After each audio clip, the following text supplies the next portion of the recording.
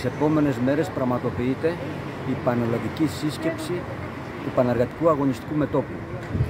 Ως αγωνιστική συσπήρωση που το 2014 αναλάβαμε τα ενία του Συλλόγου Εργαζομένων αλλάζοντας την συμβιβασμένη γραμμή που υπήρχε στο Σωματείο έχουμε δώσει μικρές και μεγάλες μάχες ώστε να φέρουμε τα προβλήματα των εργαζομένων στο προσκήνιο αλλά κυρίως να αναδείξουμε τις αιτίες που αντιμετωπίζουμε μια γιγαντιαία επίθεση τόσο στα δικαιώματά μας όσο και στα δικαιώματα των ασθενών.